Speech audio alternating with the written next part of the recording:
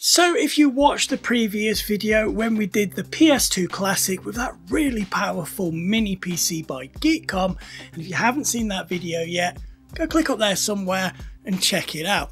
Get yourself up to speed with what we're going to be doing next. Now at the end of the PS2 Classic video, I did mention that I will be doing a different version that would use a more affordable Raspberry Pi 5, but it would still play PS2 games. Obviously, nowhere near the sort of resolution and performance that you're going to get out of the mini PC, but I do get that not everyone has that amount of money that they can spend to build one of these PS2 classics.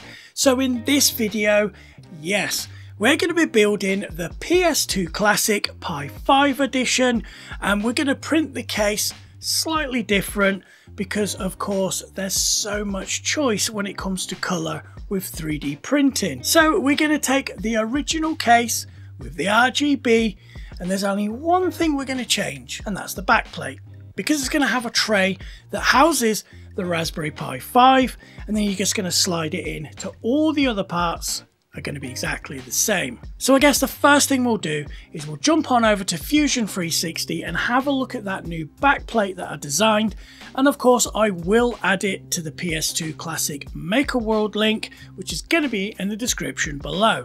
Right, let's go over to Fusion 360 now and have a look at the new backplate design. So this is the old backplate with that big rectangular hole which obviously shows all the I.O. from the mini PC. Now this is the new backplate for the Raspberry Pi 5. As you can see there's a lot smaller hole because all we need access to is the two HDMI ports and the USB-C. If we have a look at the other side we can see the mounting for the Raspberry Pi itself and it's just a little tray that comes off the back, super easy to print and it's the only part that's different from the original. So it's time to set up the printer and get one printed out Plus, we're going to print all the parts again as well, so we're going to end up with two PS2 classics, the mini PC version and of course the Pi 5 version.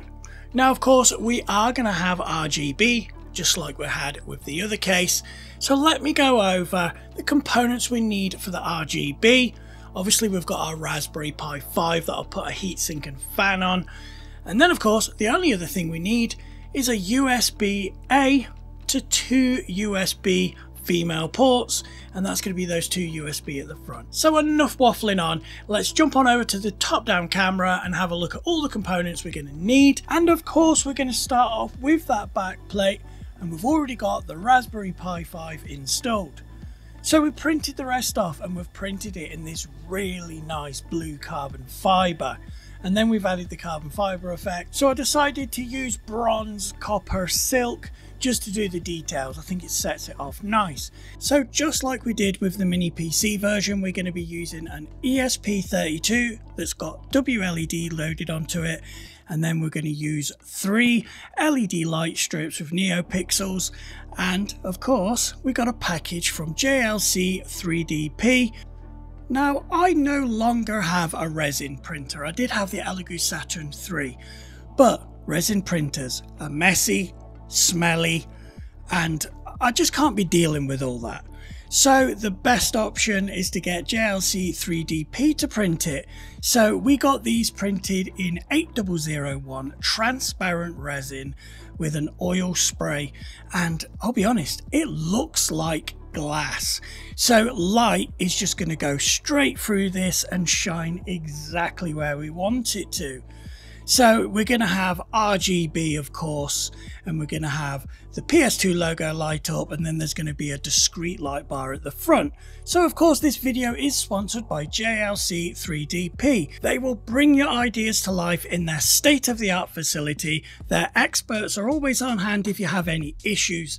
They're fast, reliable, and they're very competitive on pricing. So I guess the best thing to do is to show you how easy it is to order. So let's jump on over to the JLC website and order the parts we need for this project. So click on quote now and then drag and drop those STL files and give it a few seconds to load up. As you can see, we've got the LED light bar and then the PS2 logo. So we're going to be selecting 8001 resin, transparent, oil spraying, and then just set it to a plastic enclosure. This doesn't really matter too much. As you can see, $3.33 for the light bar, and then again, 8001 resin, transparent, oil sprayed, just plastic enclosure. This is $4.16, so bringing the total to just $7.49. Absolute bargain. So for more information and the latest offers, click the link in the description below. So thanks again to JLC for sponsoring this video and all the other videos.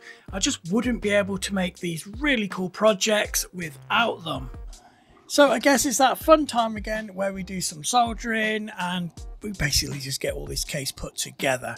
Now we've got a cutting mat, leaded solder, we've got some wire, we've got some flux, we've got tip cleaner, we have our soldering iron and I'll, I'll put a few links in the description below to some of the equipment I use. We got some wire snips and that's about all we need. So we're going to speed through some of this footage. We're just going to solder some wires onto the LED strips. Now I am going to show you a really cool tip here and it's basically for the wire. So we're snipping off three lengths of wire here and we need to tin the ends of the wires. And what I do is I put a little bit of flux on the end of the wires because I don't like using snips to actually snip the wire off. So we've got the three wires, we've got some flux on there, as you can see. We're going to take some leaded solder, we're going to melt a decent sized blob on there, not too much because it will drip off. And then we're just going to touch the end of each wire and as you can see it will perfectly expose the right amount of wire so we can then solder to the LEDs or if it's the ESP32 for example.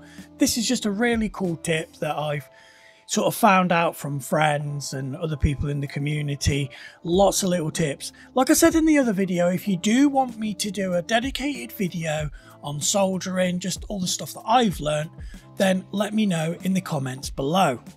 As you can see, the LEDs are working. I've renamed it. I'm just using the WLED app, setting it up to sort of light up all the rest of the LEDs, cutting more wire. And then of course you can see that I'm doing it exactly the same way again. Flux on the wire, big blob of solder, and then just soldering it all on.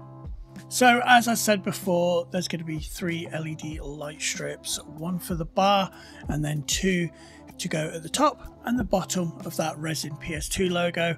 As you can see, we've got all the strips working now and I'm just segmenting them off so we can control each strip individually even though they're all connected on a single line. And as you can see we, it's just going to look amazing. So if we flip it around we can see the PS2 logo lights up really nice so of course we're going to have to get everything put in together. So we're going to put the LED light bar in first. We'll peel off the backing of that strip and then these other two strips. I think what we're going to have to do here is we're going to have to glue them basically facing inwards. It's going to be the easiest way to do it and it's just going to hold it really secure. So just a couple of the LEDs, three in total actually on this side. We use the activator and then we can just stick them on. And then on the other one I put a few more dots on there. Use the activator again. And that activator stuff is really good. So next we're just going to put the other components in. And when I say other components I mean this USB extension cable. That's pretty much it. That's all we need. We can put that in slide on the top. Then we plug that in to the Raspberry Pi 5 the ESP32 and then we chuck it in there. It's nice and easy to get everything to fit because there's not much in there compared to the mini PC. And apart from those screws that we need to put on the back, that's it. So let's plug it in for one last time just to make sure that all the LEDs light up. So we got this USB-C cable with a switch on it, pretty much standard for Raspberry Pis. And as we can see, everything lights up, it all works perfect. So I guess the next thing is we need to get some software on this. Now, of course, because there is a lot less going into the case, it's a lot easier to put together. So now we've got the PS2 Classic Pi 5 edition all put together.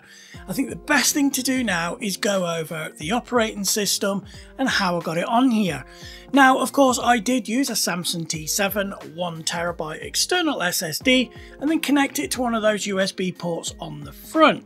And the reason I did this is because I've got one terabyte of storage and I don't actually have any SD cards big enough to fit the Arcade Punks image. Now if you don't know who Arcade Punks are, I'll leave a link to their website in the description below but basically what they do is they offer pre-made images so all you got to do is download the image file and then flash it to whatever storage device whether it's a USB stick or of course an SD card it's going to have everything set up for you already.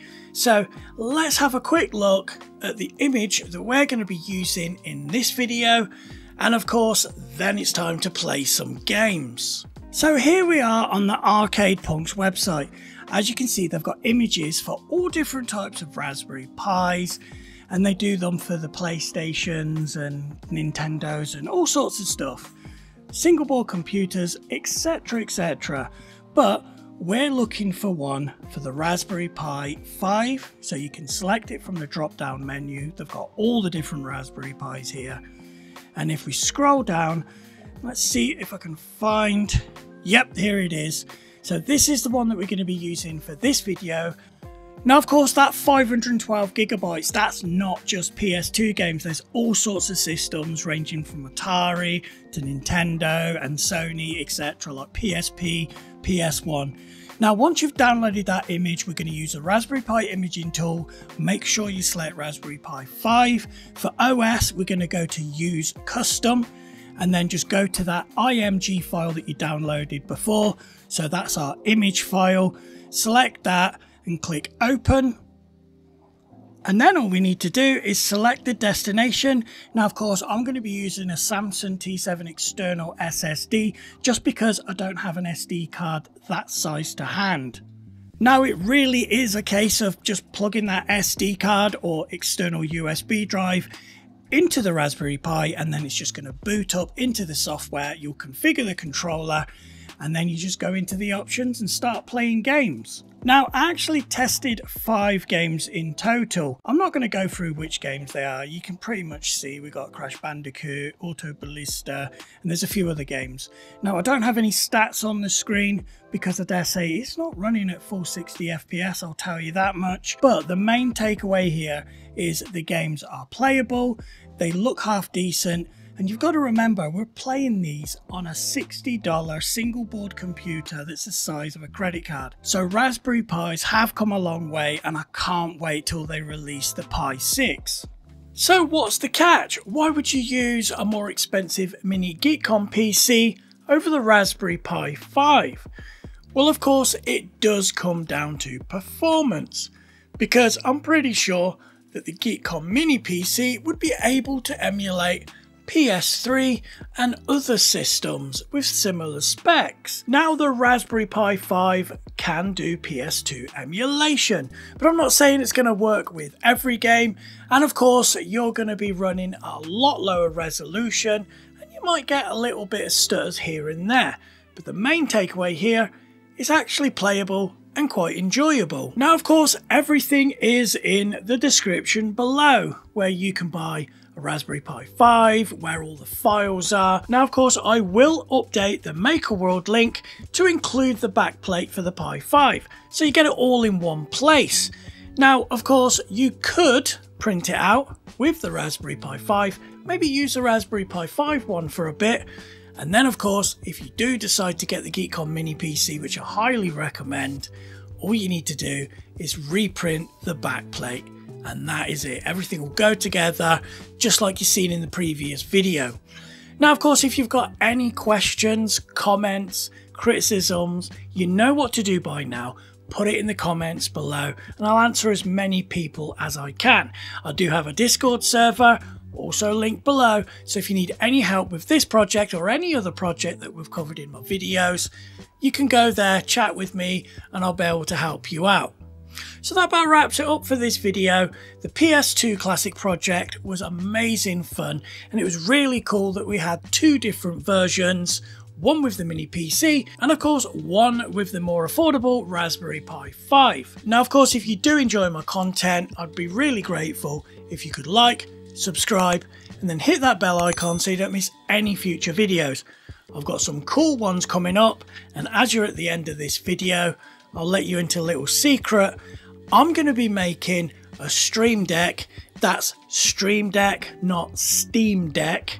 So a Stream Deck is one of those little keypads, little screens. You can program it. Okay, they're quite expensive. They're about 150 pounds or 150 dollars.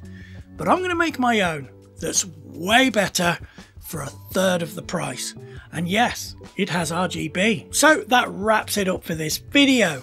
I'm JP, and as always, I hope to see you in the next one.